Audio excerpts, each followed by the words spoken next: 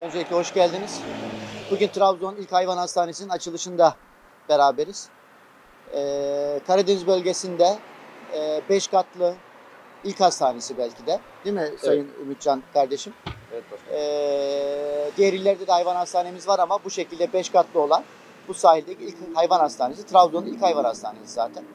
Ee, Trabzon'daki e, veteriner kliniklerimiz var. Buna şimdi tam donanımlı bir hayvan hastanesi eklendi. Bu bizler için güzel bir e, olay. İşletmenin açılması, burada bu yatırımın yapılması Trabzon için bir şanstır. E, hayvan hastanesinin olması hem hayvan severlerin hoşuna gidecek hem diğer kliniklerin daha kaliteli çalışmasını sağlayacak. Hem veteriner hekim meslektaşlarımıza da iş imkanı sağlayacak bir işletme.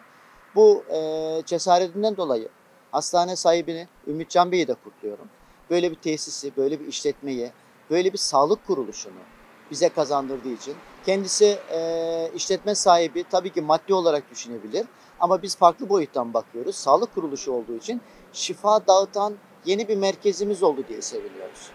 Hem veteriner hekim olarak, hem hayvan sahibi olarak, hem Trabzon'da yaşayan biri olarak seçeneklerin artması, alternatiflerin çoğalması bizleri mutlu ediyor.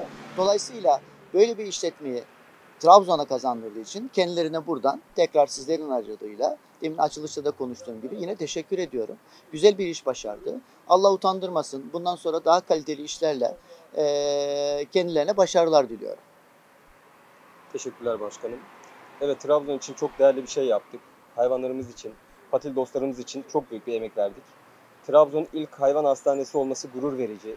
Buna da ilk benim imza atmam gurur verici. Trabzon için evet yine söylüyorum eee, küçük bir şey ama patil dostlarımız için çok büyük bir şey adım attık. Bölgemizdeki veteriner kliniklerimiz, arkadaşlarımız tabii ki var. Eee, çok değerliler hepsi tek tek. Ama hastane bandında tam donanımlı olmanın gururunu veriyoruz. Ve Karadeniz bölgesindeki en büyük hastane olmanın da ayrıcalığını yaşıyoruz. Çok güzel. 5 katlı bir bina olarak burada e, hizmet veriyoruz. Yakın zamanda daha da güzel işler yapacağız Trabzon için. Hepinize teşekkür ediyoruz. Katılımlarınız için ayağınıza sağlık. Hayırlı olsun.